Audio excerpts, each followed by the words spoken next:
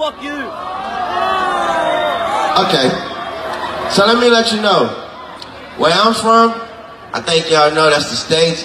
We don't throw shit on stage because all my niggas got pistols and they don't know who to shoot at. So if you throw something else, I'm gonna be more safe and I'm gonna be the bigger person and just leave. Cause I don't want to kill everybody. Let's go.